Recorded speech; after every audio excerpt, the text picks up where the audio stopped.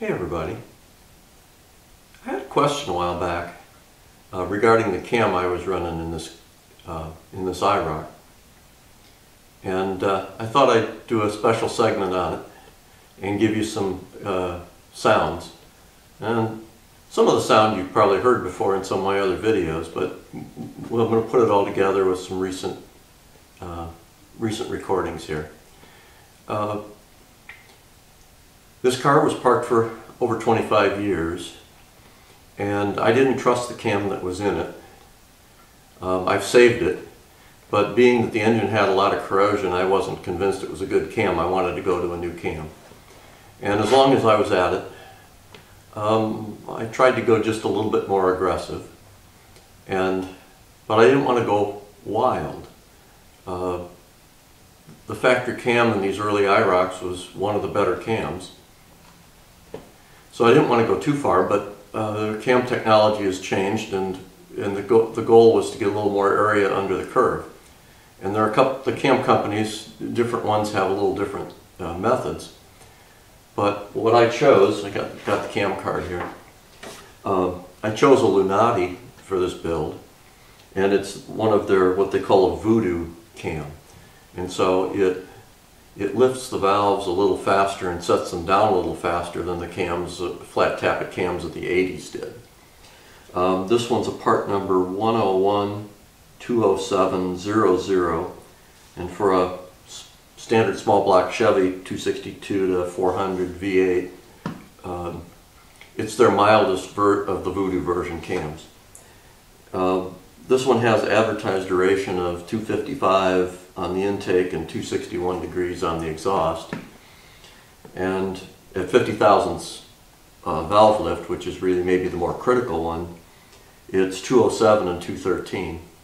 Um, I'll put up a slide and show you the difference between the factory cam and the, and the Lunati. But the Lunati, I say 101, 207, 00, and that was recommended by the Lunati people for this application. Uh, because it's a tuned port, you don't want to get too wild. If it was a carbureted or if I had a, a, a, ram style, you know, a different style intake that doesn't have the long runners on it, the recommendation might have been to go a little bit higher. They said I could use the next step up, but if I used the next step up, it would give me a little bit more horsepower at the top end, but it would hurt the torque curve the rest of the way. And if I use this one, I should get a torque boost all the way through. And frankly, it's pretty satisfying. I mean, it really, you know, it boils the tires when you romp on it from a stop, and it accelerates pretty well, uh, very well. Um, I think the power is down a little bit at the top end, but that's, I think, a function of my exhaust system still being restrictive. It's a, still a stockish type muffler. It's actually, I think, more restrictive than stock looking at the pipe sizes going in. sounds nice, though. But in any case, um, uh, I've got on my plans is to go go through the exhaust system and try to free it up a little bit. Um, I say no complaints with the way the car runs. Uh, the cam went in. I'm running right now stock timing, um, stock computer chip. I've not modified anything. Um, I know that it gives me a little bit more power if I bump the timing up. Uh, you know, the acceleration times get better.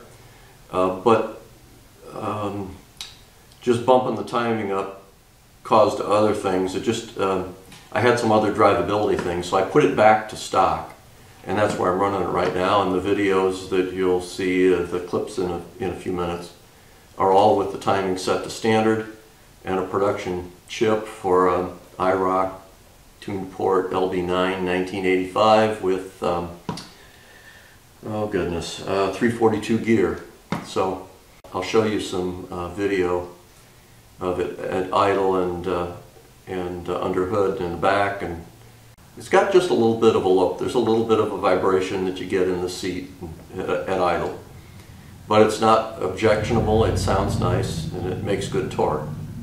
You know, the mid-range feels really good, so um, I said, I, I like the cam, I think it was a good choice. I'm glad that I didn't go bigger.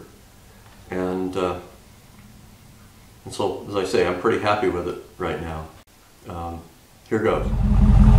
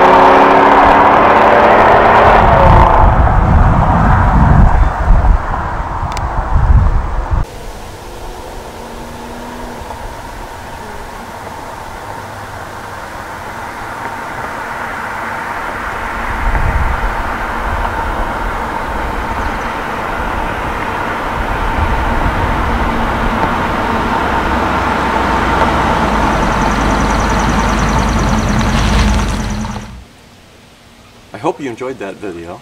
If so, please subscribe to my channel.